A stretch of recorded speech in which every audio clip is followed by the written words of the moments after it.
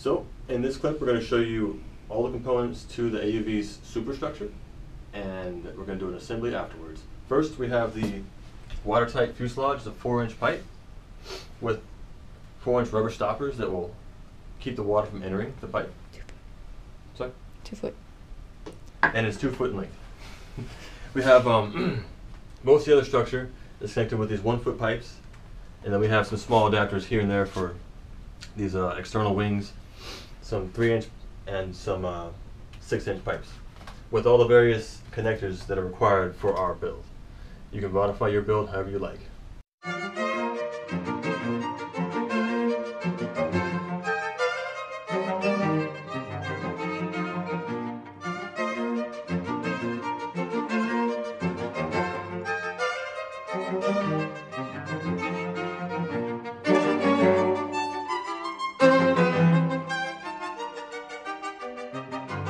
Thank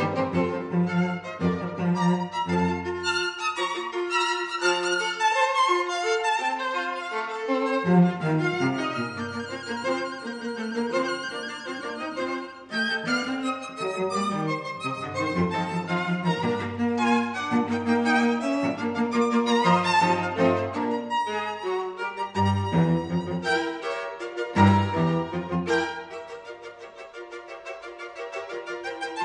thank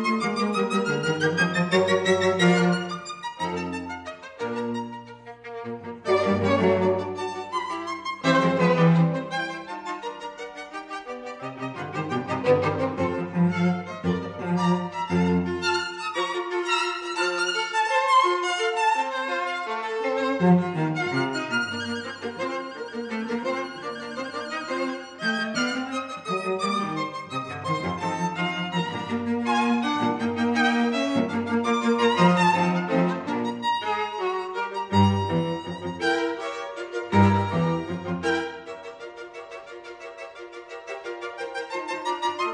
Thank